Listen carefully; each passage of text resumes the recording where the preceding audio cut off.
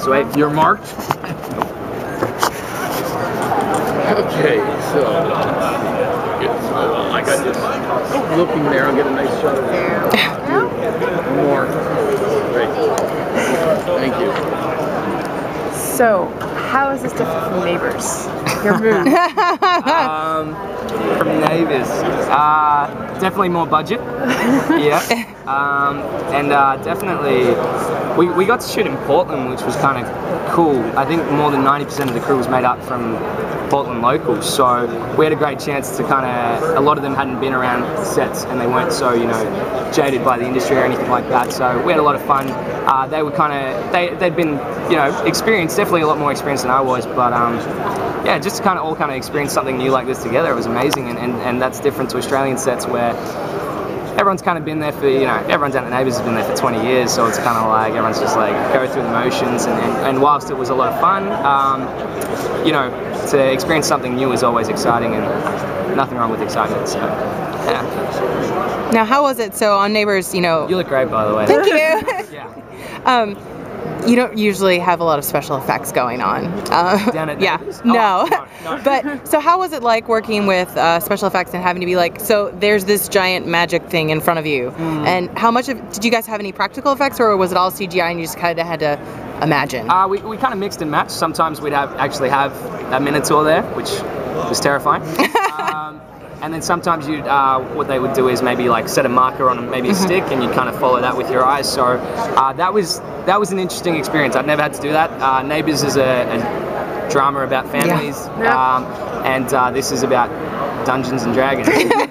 I mean, bit of a difference. Uh, so yeah, we. Um, it was a lot of fun, uh, but at the same time, it was a bit challenging having to, you know, kind of pretend like this thing was there, and I guess that's what I'm paid to do. So, uh, fingers crossed, that was convincing. Talk about how you developed uh, your character in your head, and, and then we were hearing about how there was a family built in in the community of the Stones. Yeah. I mean, in the of the series. So Yeah. let's hear about that. Uh, Ezekiel Jones is, uh, at least prior to the show, a lone wolf. Uh, he does what he wants. Um, he doesn't really care for anyone, and um, that may or may not be due to previous experiences with interactions with people.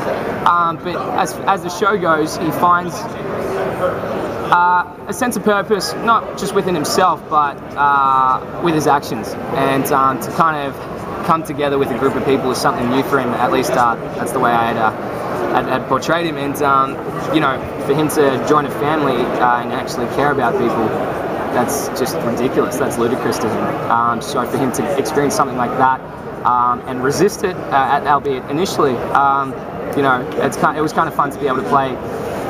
I don't really like you, but I do like you. And as you go on, you'll get to see more of his uh, his sensitive side. And working with the ca- the cast, how did you guys work out the process? Uh, oh, um, so we kind of um, we got told day one when we got there um, to re- uh, relate everyone to someone, a figure in our own lives, um, and, uh, and and to keep them quiet, to make sure that you don't actually explain that because we want to discover that as we go along with with the filming process. So um, yeah, I mean, uh, I got there and I saw Christian and. and uh, don't tell him, but um, you know, I, I related him a lot to some older brother figures that I had in life, and um, yeah, I kind of for me to to get, let that kind of unfold whilst being filmed was kind of incredible to be honest, and it really shows some true relationships that you will see in everyday lives, but you're just getting eaten while you're at it by big creatures and monsters. So.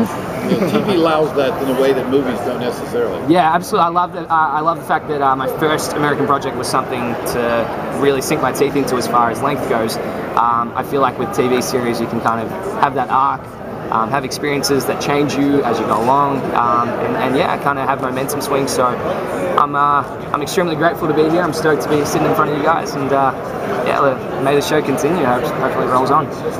What was, uh, how was filming the stunts? Did you guys do your own stunts? Is it super physical? Yeah, um, I wasn't. I, Ezekiel Jones isn't a fighter, um, so I most of my stunts were getting thrown back and things like that. And um, I did I did all of my own stunts up until a particular particular episode, which I'm not allowed to talk about. But they did bring a stunt double in for that, and um, yeah, he was great. Uh, his name was Jake, and um, I'm actually going to put some of his stuff in my show reel because he was amazing. So yeah, I'm just going to take credit for his work. So drew you?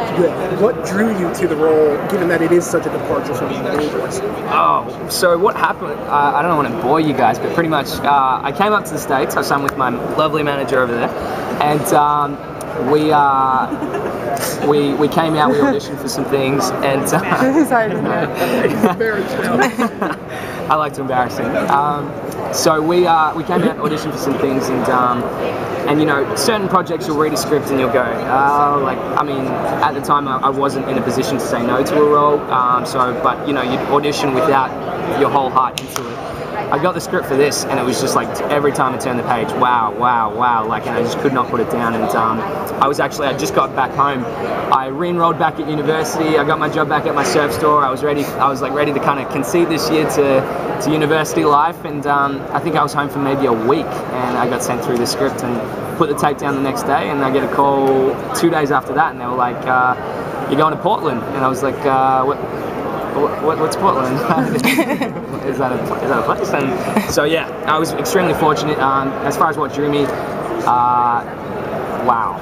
I mean, like, what, what didn't draw me? You know, it's like you got an incredible cast. Dean Devlin has just such a visionary uh, aspect about his work, and um, John Rogers is just hilarious. He, would actually um, he'd been in close contact with a lot of uh, Australian comics that I'm big fans with. So yeah, I kind of I knew of some of these people prior to this, and, and once I got the script and I knew who was attached, I was like, I need to work really hard on this tape, and I did, and, and uh, I got cast off of it. So. so you didn't watch episodes of Portlandia. So what was your experience? Uh, I mean, how does uh, Portland contrast to Melbourne? Portland's nuts.